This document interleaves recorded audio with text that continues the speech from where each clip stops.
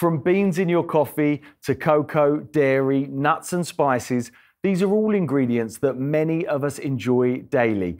Olam Food Ingredients, also known as OFI, works with farming communities across the globe to provide food brands with ingredients for a range of innovative products that are good for people and the world around us.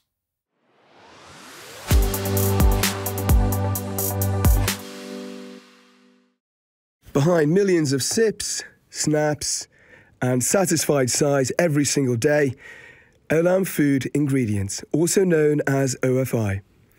You might not know it, but you've almost certainly enjoyed the ingredients they've sourced, processed in their facilities, and developed for the world's biggest food and drink brands. You could say that we are the brands behind the brands. We are present physically in key origins of cocoa, coffee, dairy, nuts, and spices across the supply chain in 50 countries. Of course, those farmers have challenges, and in OFI, they have a partner working to help overcome them. With initiatives aimed at benefiting those across the supply chain, including those at its source. We are sustainability experts that are embedded throughout our supply chains within rural communities sustainability is not just about climate, not just about the environment. We operate in farming communities where farmers don't necessarily earn an income that helps them supply food for their families, that helps them uh, get clean drinking water, access to healthcare. So actually for us, sustainability starts with the social aspects of it. The end result, delicious, ethically sourced products. We try our best to be able to develop things with all our ingredients to get things that taste good, but also have a purpose to it. Taste and visual is always important for everybody, so people always eat with their eyes. And then, of course, you eat with your mouth. And people are on quite a remarkable scale because one in every five chocolate bars eaten anywhere in the world are made with OFI cocoa beans and products.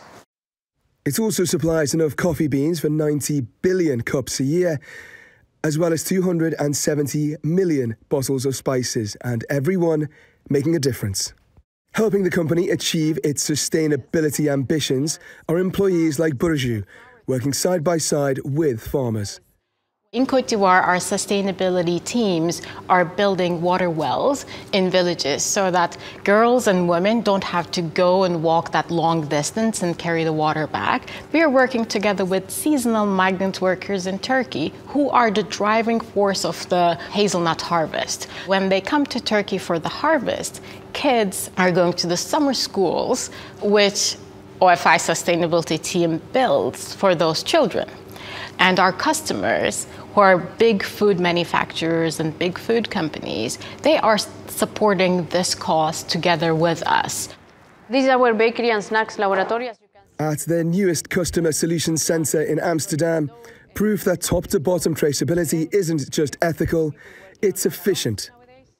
We have a big sustainability team who are really linked to, to our farmers in origin, so we can really get the data from the source so they can really bring this idea into life while having a storytelling behind.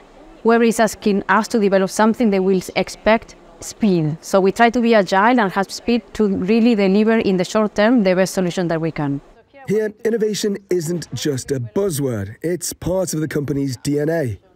You can also look at innovation on the entire supply chain. To avoid food waste, for example, there are some initiatives to, to reuse the, the cocoa shells or, or the nut husk and we have, of course, teams all over the world uh, looking for regional connections so we can really identify which are the market trends, key trends for the consumer, so we can develop products that are fitting those trends. We can go from a, an almond latte mix to a cashew-based snack, or even really uh, Uh, looking after like chocolate lovers or our coffee lovers. And with tighter regulations around sustainability on the way, that solution-focused mindset will be vital.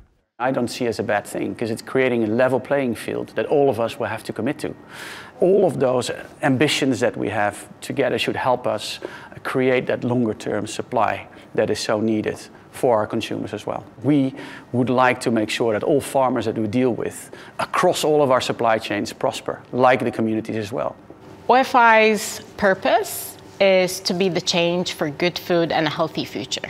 It's not only good for our customers who are big food manufacturers, big food companies. It's also good for the people who are actually producing those products and good for the landscapes that those products come from.